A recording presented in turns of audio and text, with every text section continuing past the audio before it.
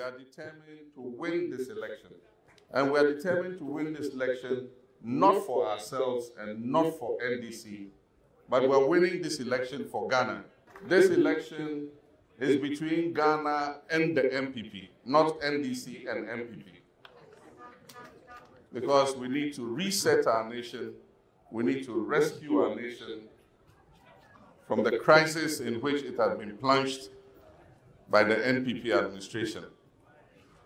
And so we expect that the elections will be peaceful because we know we're going to win the election. And so if there will be any violence, it will not come from us, the NDC. But I'll crave our reverend fathers, when you preach about peace, also preach about justice. Because it's when there's no justice that there is no peace. We are for peace, but we will resist any attempt to rig this election.